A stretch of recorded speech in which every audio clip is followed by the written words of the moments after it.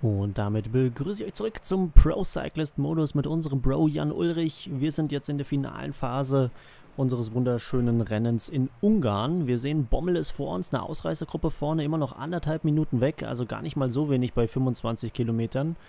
Wird natürlich sehr hügelig hinten raus, da bin ich gespannt, wie hoch das Tempo ist, wo die Attacken kommen. Unser Team ist schon wieder ziemlich zerlegt, wir haben generell nur vier Helfer dabei, Steigner und Flort der hier vorne noch die Nachführarbeit für uns macht. Sind schon ziemlich platt. Bommel noch an unserer Seite. Schauen, Bommel, 61er Hügelwert ist jetzt nicht gerade überragend. Guter Sprinter, aber wird uns wahrscheinlich im Finale auch nicht mehr helfen können. Wie uns ja eigentlich nie irgendjemand im Finale helfen kann. So, jetzt müssen wir durch den Vorsprung nach vorne erstmal verkleinern. 1,22, vier Fahrer, die immer noch ganz gut ausschauen, wenn ich das so aus der Ferne richtig beurteilen kann. Ulle wird jetzt hier gerade ein bisschen durchgereicht.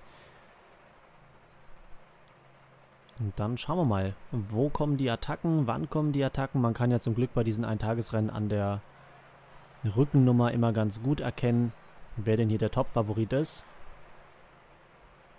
So, der Genmais wächst an der Seite auch das gute Getreide. Jetzt sind es noch 14 Kilometer und es geht in die Entscheidung. Versuchen wir mal schon mal ein kleines Stückchen weiter nach vorne zu fahren.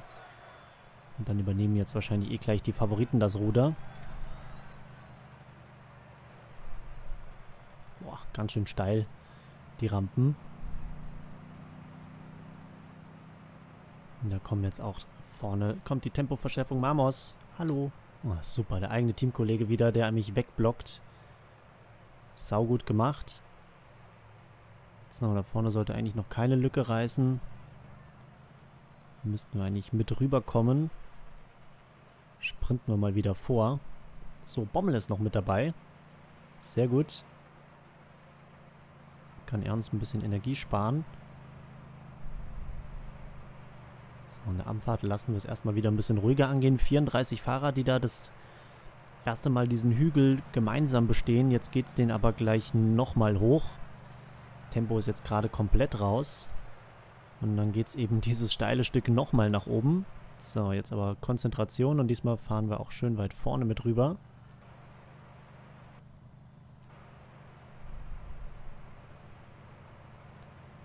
wer da jetzt schon Energie gelassen hatte vorher, der wird jetzt wahrscheinlich noch größere Probleme bekommen. Jetzt müssen wir doch irgendwie mal mitgehen. Wir können aber nicht richtig mitgehen. Da haben wir Debesai, der da in Position gefahren wird. Ihm würde ich eigentlich gerne folgen. Ach, gut, dass wir da jetzt durchgefahren sind. So, jetzt aber ranhalten, Ulle. Vorne mit der Gruppe auf jeden Fall. Dann jetzt können wir schon mal das Energiegeld schnabulieren. Jetzt geht es hier nochmal leicht bergauf. Schauen. Nach wie vor schnell gefahren in der Abfahrt. Da haben wir Debesai. Und jetzt geht's eigentlich nur noch ganz, ganz kurz bergauf. Ich würde Debesai mal folgen. Beziehungsweise wir haben hier Tupalik auch noch an der Seite. So, komm, wir folgen Debesai. Da geht Ole gar nicht erst aus dem Sattel. Es noch 800 Meter. Jetzt müssen wir aber auch raus und irgendwie dran vorbei. Und Ulle schafft er das. Ulle fährt vorbei und wird er jetzt noch übersprintet, wenn der rote Balken weg ist? Nee, das holen wir uns. Sieg für Ulle. Yes, in Ungarn. Also unserer Favoritenrolle gerecht geworden. Samoilau, Rutkiewicz und Debesai, der ein bisschen zu früh im Wind war, wird dann Vierter. Aber sehr, sehr gute Leistung. Haben wir uns den nächsten Sieg geholt. Der dritte und der erste Nicht-Zeitfahrsieg oder Prologsieg. Auch ganz schön. Diesmal hat Bommel auch ganz gut für uns gearbeitet. Da können wir zufrieden sein. Und das war ein schönes Finale. Haben wir natürlich auch Glück gehabt, dass wir ein richtig gutes Hinterrad hatten. Das ist ja so, als hätte er uns den Sprint angefahren. Und dann hatten wir auch noch am meisten Energie. Kontinentalpunkte gibt es bestimmt auch einige hierfür, jetzt nicht massig, aber wird sicherlich auch bei der Vertragsverhandlung fürs nächste Jahr nochmal besser werden. Jonas Rapp auch mit dabei. So, Errungenschaft freigeschaltet, unverhofft und Erfolge 1 haben wir jetzt bei Steam die Errungenschaften freigeschaltet, Mensch, und das im April 2020. Nach neun Monaten Radsportmanager endlich. Oder nach zehn sogar. So, Gesamtwertung haben wir gewonnen. In der Teamwertung sieht es eher schlecht aus. Aber das sind wir gewöhnt, wobei, wie gesagt, unser Team heute nicht ganz verkehrt war. Wir hatten sogar noch einen Helfer bis ins Finale rein. Ein Sieg für Ulrich, das werden wir noch häufiger lesen. Jan Ulrich, Vasi Hasi gewinnt also Einschätzung des Rennens. Ja, wir hätten es eh gewinnen sollen. Von daher, glaube ich, ist es ganz gut, dass wir es auch gewonnen haben. Gibt nochmal 15 Punkte obendrauf. Ansonsten gibt es erstmal nichts. Mal schauen, was das denn für die Kontinentalwertung bedeutet. Ein paar Punkte sollte es auf jeden Fall gebracht haben und ein paar Platzierungen hoffentlich auch. Da sehen wir Henning Bommel, da sind wir aber jetzt schon auf Platz 38 vorgerutscht. Also wir sind bald vielleicht der beste Teamfahrer. Dann geht es jetzt nämlich zum nächsten Rennen, was für uns ganz spannend werden kann. Wiesegrad 4 Bicycle Race in Polen. Mal schauen, es wird glaube ich immer nur monatlich aktualisiert. Die Vertragsverhältnisse. Hier sind jetzt erstmal keine neuen Teams dazugekommen.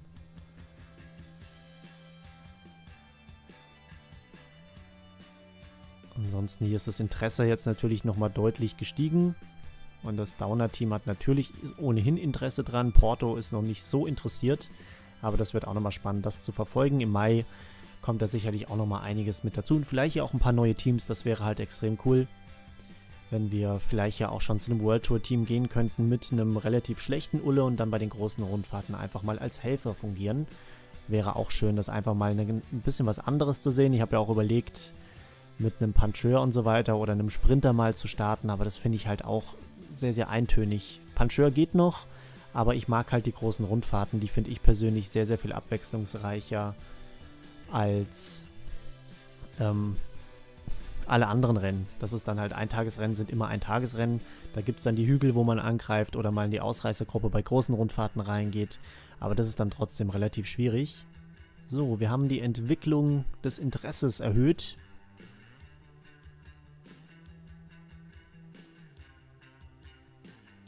Und simulieren uns wieder durch. Natürlich, die World DB, mit der wir spielen, die 2020er, hat auch extrem viele Rennen drin. Das kommt uns natürlich zugute, indem wir mit einem kleinen Team an vielen Rennen starten können, aber beim Simulieren ist es manchmal ein bisschen anstrengend. Wäre schön, wenn man das irgendwie auch mal anders hinbekäme, dass da nicht immer dieser Simulier Simulierbalken kommt, weil das nervt schon ziemlich. Jetzt würde ich mir gerne mal das Interesse anschauen. Ich habe großes Interesse am Interesse. So, Tour of the Alps wäre natürlich auch mega gewesen. So, ihr Sieg hat das äh, Interesse der Teams erhöht. Das war jetzt irgendwie auch schon fast klar, aber ist jetzt auch nicht durch die Decke gegangen. Also das Team Felbermeier, wo ich mich ein bisschen leichtsinnig für eingetragen habe mit ihren drei Fahrern, die sie überhaupt haben. Und das Trikot sehen wir jetzt auch unten. Ist jetzt nicht so toll. Der Kader ist natürlich beim FC Porto am besten. Das norwegische Development-Team muss auch nicht unbedingt sein. Ein kolumbisches, ein kolumbisches Team für Ulle ist, glaube ich, auch schwierig. Aber wir schauen einfach mal, wie gesagt, ob da noch was Neues dazukommt. Fünf Tage bis zum nächsten Rennen. Von Kufstein nach Kufstein klingt auf jeden Fall schon mal geil. Ach, wie gern wäre ich bei der Tour of the Alps mitgefahren. National Road Championship in Chile, San Pedro de Atacama, oh Gott, durch die Wüste. Reit im Alpachtal. Das sind einfach Namen und Schenner oder Scanner, wie die Italiener dann wahrscheinlich sagen. So, Flash Wallon ist auch. Können wir vielleicht dann nächstes Jahr fahren, je nachdem, welches Team uns möchte. Und wenn wir jetzt beim nächsten Rennen auch gut abschneiden und da nochmal vorne rein rödeln, dann sind wir auch in der Kontinentaltour immer weiter vorne dabei. Und ich freue mich, wie gesagt, schon auf richtig schöne Bergetappen mit Ulle. Da wird unser Team keine große Hilfe sein. Aber das kennen wir ja schon, dass wir mit Ulle eigentlich immer auf uns allein gestellt sind.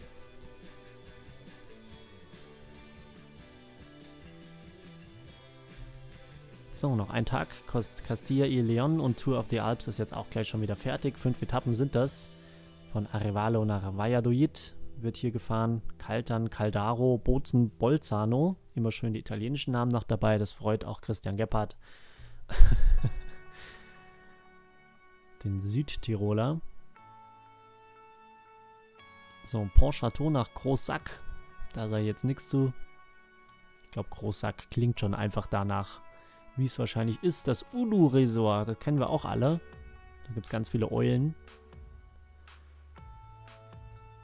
So, und dann sind wir angekommen. Wiesegrad vor Bicycle Race Grand Prix Poland. Erwartete Tagesform ist die 0.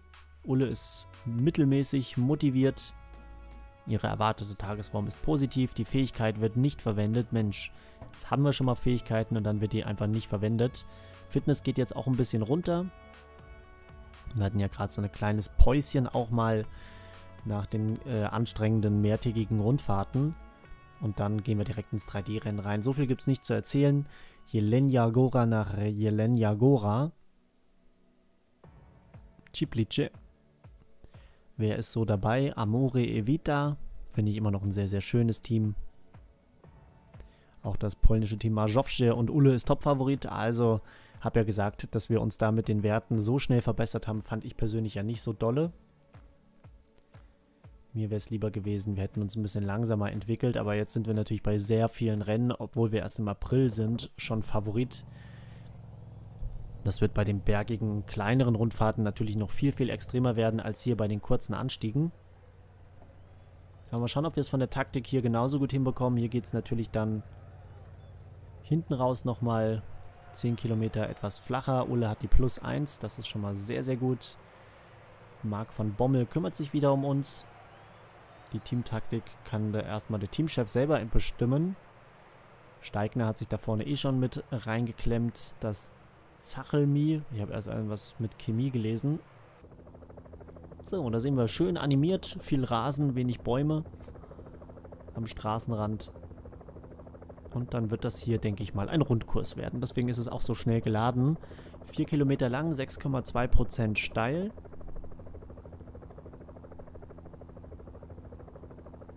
Finde aber schön, dass das hier dann auch angezeigt wird, obwohl das keine direkte Bergwertung ist. Und da sehen wir, dass die Straße auch nicht so breit ist. Also man muss relativ weit vorne in den Hügel reinfahren, ansonsten wird es dann doch schwierig. Und der nächste Berg ist dann ein bisschen flacher, 3,8 Kilometer lang. Also müsste man fast schon am ersten attackieren, beziehungsweise auch das Tempo ein bisschen erhöhen, wenn man es dann gewinnen will. Nur 120 Kilometer lang. Denke mal so ab der dritten Überquerung des Berges wird es dann auch vom Tempo ein bisschen höher gehen, so dass die Helfer rausfallen und dann werden wahrscheinlich nur noch so 30, 40 Fahrer in der Spitzengruppe sein. Aber trotzdem interessantes Profil für so ein kurzes Rennen. Vier Fahrer vorneweg, über drei Minuten. Jetzt sind es 1,20. Ich weiß nicht, ob gerade alle gestürzt sind da vorne oder kann ich mir gut vorstellen. Tempo ist jetzt schon enorm. Selbst Ulle hat da schon leichte Probleme. Da sehen wir auch Debesai wieder, der uns so schön den Sprint angefahren hat. Eben in der letzten Etappe. Dann sehen wir auch den Rapper. Rapper.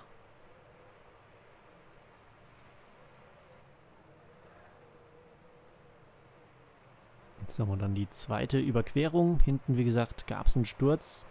Hat auch einige unserer Teamkollegen getroffen, die jetzt aber wahrscheinlich gleich wieder ranfahren werden. Natürlich, außer das Tempo ist jetzt hier wieder sehr hoch.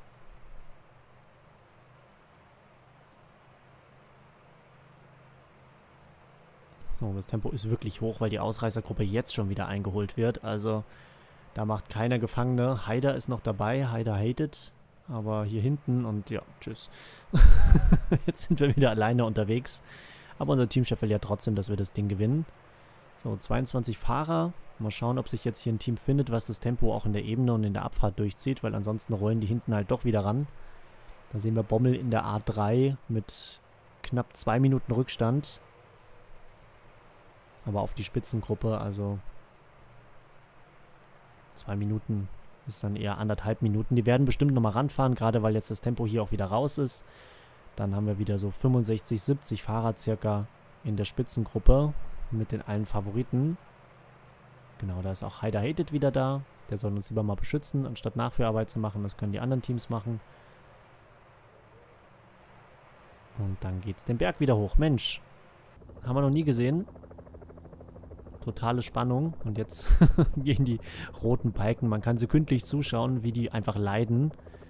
Haider ist noch vor uns. Jetzt gibt es nochmal eine minimale Abfahrt. Weiß nicht, ob er das schafft. Der Pulswert ist auf jeden Fall sehr, sehr hoch. Und dann ist unser Team leider wieder raus. Also doch früher schnelles Tempo, als ich erwartet hätte. Jetzt sind wieder nur noch 27 Fahrer in der Spitzengruppe. Und die wird gleich noch kleiner werden. Wenn man sich das hier so anschaut, sind wir alleine. Wir holen uns gleich in der Abfahrt ein Wasser. Eigentlich sieht man fast nur noch Einser hinten.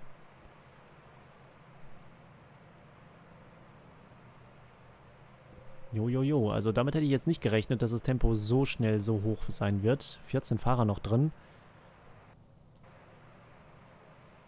So, da sollte vielleicht doch einer hinterherfahren. Wäre ganz nett. Okay, jetzt reiße ich hier wahrscheinlich gerade die Lücke. So, 13 Fahrer noch in der Gruppe mit den Favoriten. Und da sehen einige schon nicht mehr ganz so fresh aus. Aber schönes Rennen schönes Eintagesrennen und vor allem auch unseren Fähigkeiten entsprechend, beziehungsweise so entsprechend, dass wir halt wirklich schon um den Sieg mitfahren können. Ulle wird hier zum Puncheur. So, jetzt... Ich kann natürlich keine Führungsarbeit machen. Interesse daran, das Tempo hochzuhalten, hätte ich natürlich.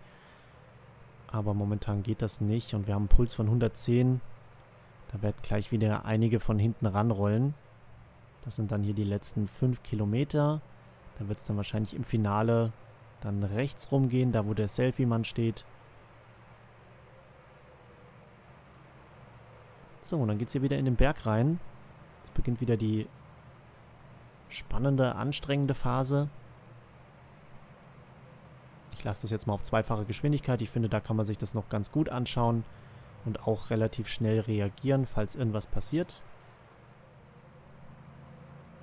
Bleib auch mal beim 90er Wert. Wir müssen ja nicht ganz, ganz, ganz vorne fahren. Und ich finde es immer wieder schade, dass die anderen Teams hier so viele Leute dabei haben und wir gar keinen. Muss ich doch ein bisschen höher gehen, sonst kriege ich Angst, dass wir abgehängt werden sinnloserweise. Obwohl wir noch so viel schöne Energie haben.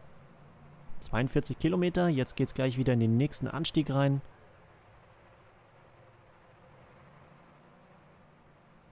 Lünarz Ulle fährt ein bisschen orientierungslos hin und her. Wir bleiben natürlich an unserem Lieblingsanfahrer Debesai, der vorne sein Team jetzt aber auch ziemlich verschleißt.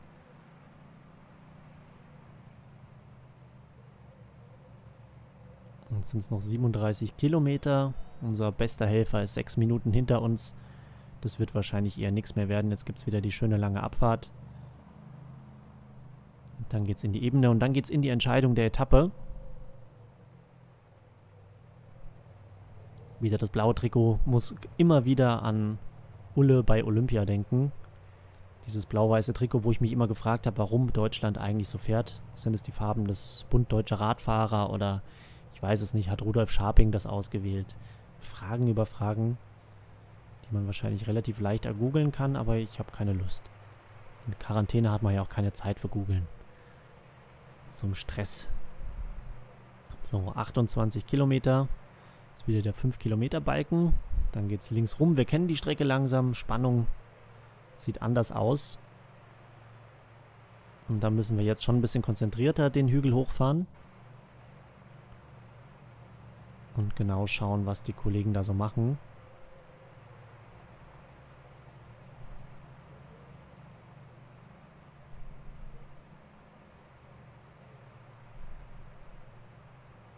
Debisai ist da gerade ein bisschen weit rausgefallen.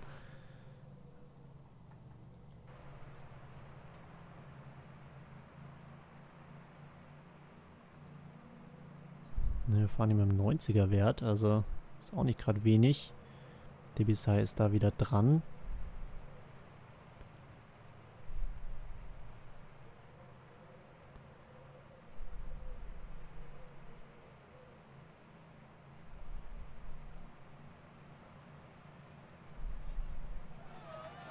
Hier würde ich noch nicht so viel machen. Da haben wir auch Tupalik, der da jetzt attackiert. Oder was macht er? Nee, halt das Tempo. Oh, der ist platt. Die sind alle platt. Aber gut, müssen wir jetzt ja noch nichts machen. Sollen wir was machen? Ich würde jetzt noch die nächsten abwarten.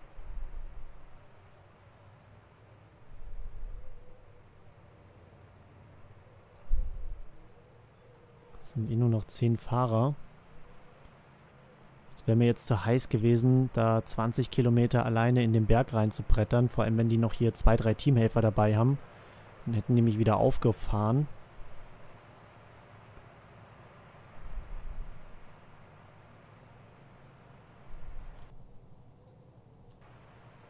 Da kommt jetzt eine Attacke. Das hätte ich gar nicht erwartet von der Nummer 13 unbedingt.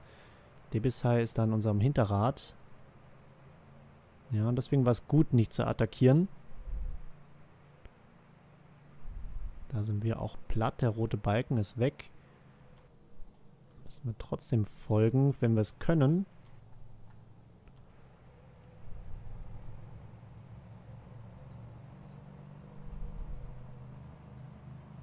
Ja, mal schauen. Das könnte dann doch enger werden als gedacht.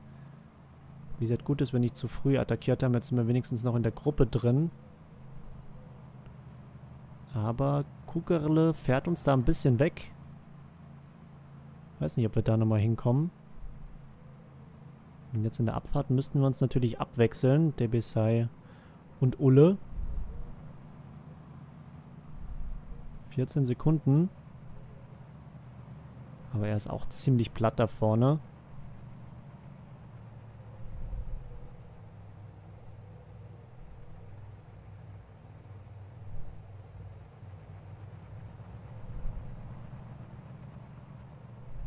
So, 49 Sekunden.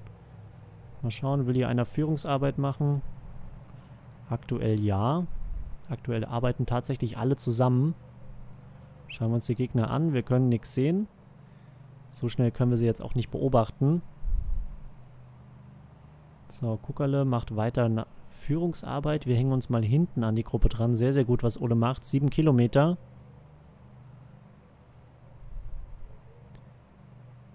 Zu dritt geht's ins Finale. Das Energiegel haben wir jetzt halt leider schon genommen. Kommt da gleich nochmal eine Attacke oder wie schaut's aus? Die hinten sind auch platt, da wird der Vorsprung eher größer. Da ist noch eine Vierergruppe, aber die ist anderthalb Minuten weg, das wird nichts mehr werden. Jetzt fahren wir vier Kilometer vorm Ziel nach vorne.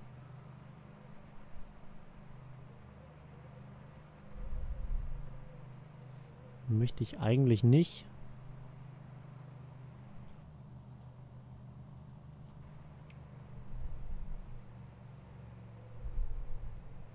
So, jetzt gibt es hier Steherversuche.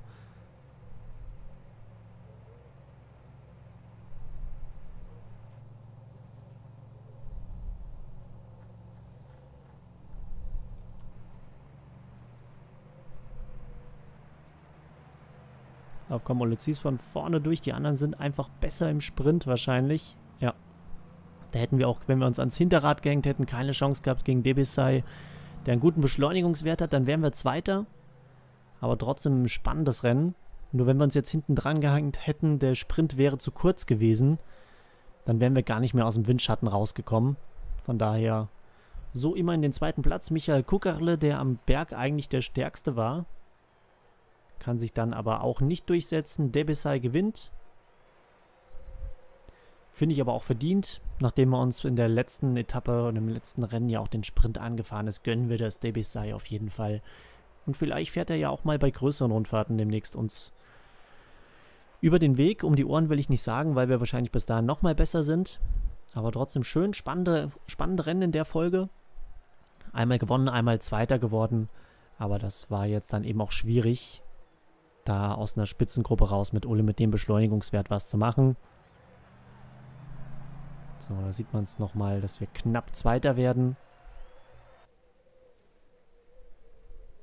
Siegerehrung Maxep Debesai, also viele Eritreer inzwischen auch im Radsport. Kann eigentlich nicht so lange dauern, bis es da auch mal einen richtigen Spitzenfahrer gibt.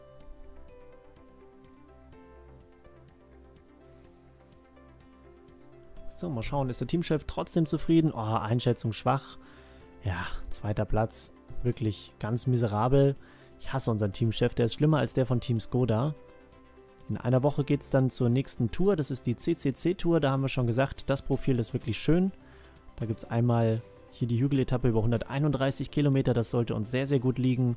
Dann Berg der dritten Kategorie kurz vorm Ziel. Zum Abschluss nochmal eine richtige Bergetappe. Das wird spaßig werden. Da sehen wir uns dann wieder beim Bro Cyclist mit Jan Ulrich. 19 Jahre alt ist der Mann erst und kurz vor Stufe 6. Ob er in der Realität auch in dem Alter schon auf Stufe 6 war, werden wir nie erfahren. Auf jeden Fall ist er absolut momentan nach der Karriere auf Stufe 6 unterwegs. Entschuldigung. Ich liebe Jan Ulrich wirklich abgöttisch. Aber ab und zu ein paar Ole-Gags müssen sein. Hauptsache es geht ihm gut. Hauptsache Alessio und Ulle geht's gut. Da bin ich glücklich mit. Also, Dankeschön fürs Schauen und bis zum nächsten Mal beim Pro Cyclist mit Jan Ulrich.